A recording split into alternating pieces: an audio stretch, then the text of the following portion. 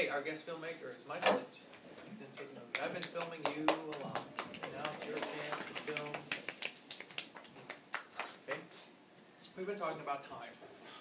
And we've realized that a clock is really a circle that's divided into twelve equal parts. Each equal part has five minutes in it. Okay, now we can combine those equal parts into quarters. Three of those equal parts is one quarter of clock, or fifteen minutes, three, five times. Or five, three, doesn't matter. We can divide the clock right in half and have thirty minutes, because one full hour is sixty minutes. Yesterday, we did an activity to learn about elapsed time. Elapsed time is the time between when something starts and when something ends. In elapsed time, we are really finding the difference. Oh my! Way too big. Way, way, way. Let's start over with that. We're really finding the difference. The difference between when we start and when we end. Now, from number talk, we know that finding the difference has many, many different ways to do it. Okay? Yesterday, we realized something, didn't we? Aubrey, Avery, that one of the best ways to find the difference was to use a strategy for subtraction. We found out that adding up is about the best strategy we could find. We didn't have to regroup. We didn't have to worry about that pesky regrouping minutes, because we can't regroup hundred minutes, we can only regroup sixty minutes. And it just worked out perfectly. So we got our iPads out, and we turned them on to the clock app. Okay, and we had it begin. Gave us a starting time. Okay, the starting time is Three fifteen. three fifteen. Okay, we know it's three fifteen because the minute hand, make the minute hand work. The minute hand is on three, and the hour hand is between three and four. Okay, so we know our start time is three fifteen. Now, do we know it's AM or PM? No. No, it doesn't. Probably. Okay, so I'll put in three fifteen. Check to make sure I'm right, and it says good job, so I'm correct. Now, then we played again, and we hit the next, and it gave us a new time. It was four fifteen. Okay, this one gave us Four fifteen. four fifteen. Now, most of us are going to immediately know that it's one hour, later. that it's one hour later. Because when we look at our clock to show the elapsed time, we see that the minute hand is still on three, but our hour hand is now a little bit after four. Let's say, for example, it's four fifteen. It is now. Oh my goodness.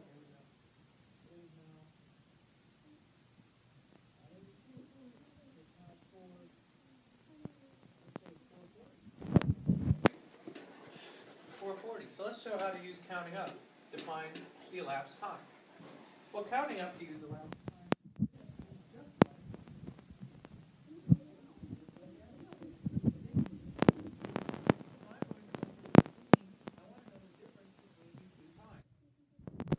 So I'm going to put a literal, now we call this a timeline, it really is a timeline now, isn't it? Literally a ton. Literally a timeline, okay? I need to add some increments. Okay, well, I'm still not sure about telling time, so I'm gonna keep it simple. I'm going to add fifteen minutes first. So I add fifteen minutes. Well, fifteen, that I know is now three thirty.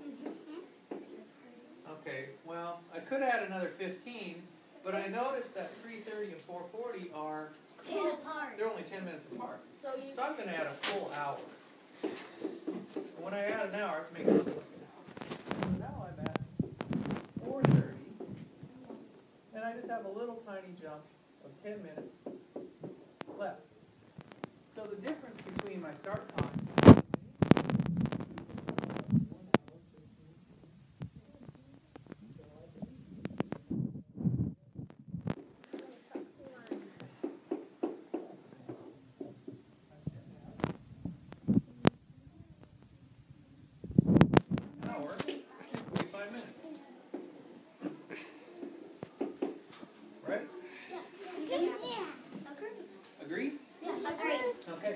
So using this strategy, adding on or adding up, is what we found yesterday, I think, to be about the best way to tell elapsed time.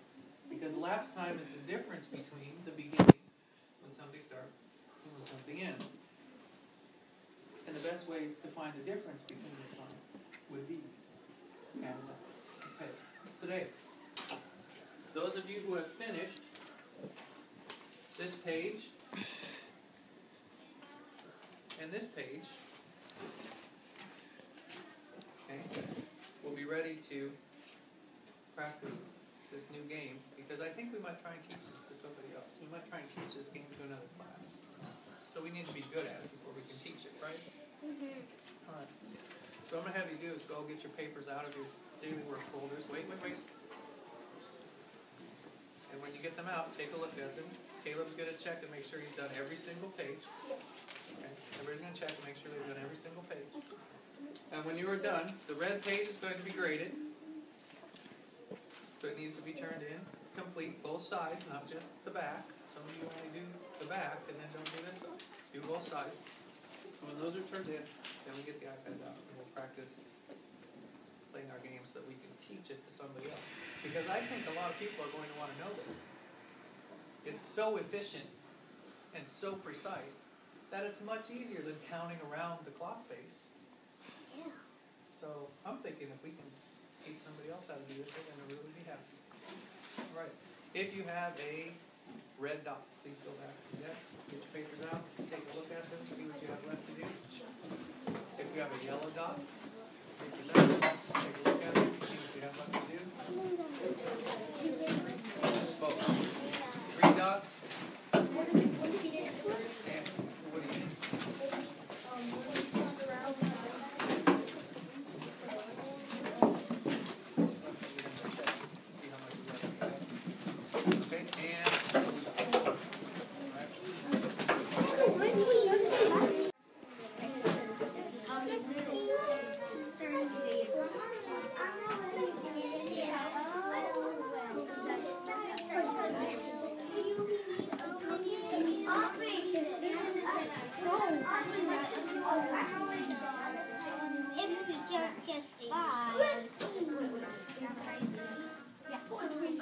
Thank you.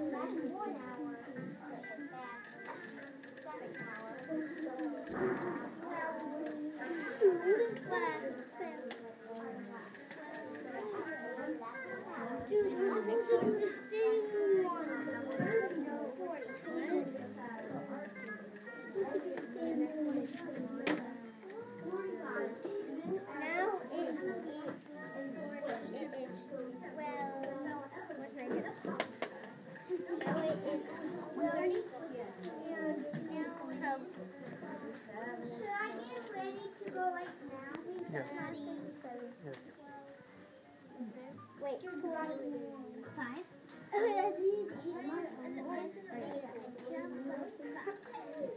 Wait, we have. Wait. That's twelve. Now we haven't done the other one. That's, that's not good.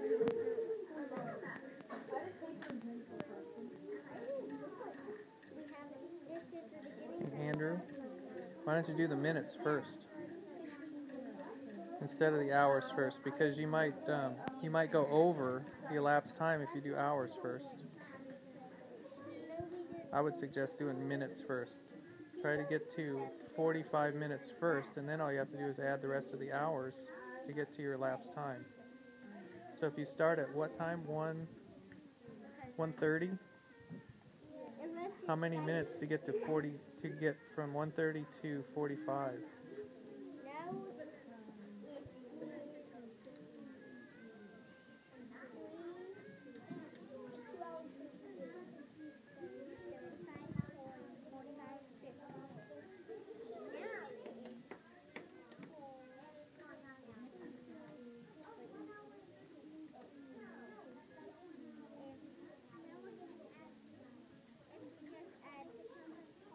Okay, what is the elapsed time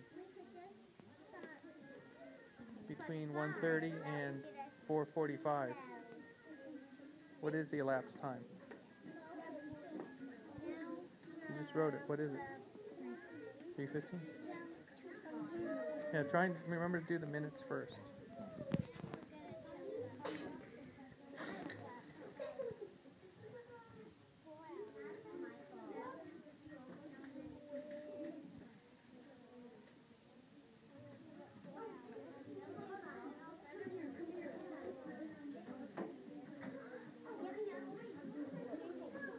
Somebody put about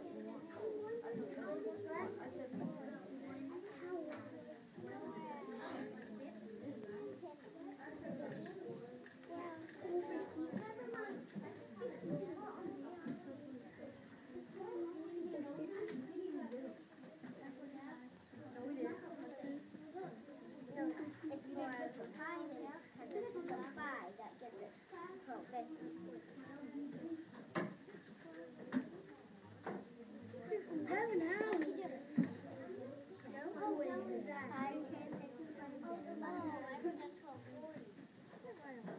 Okay, you're adding on the minutes first. Adding on the minutes first. Yeah.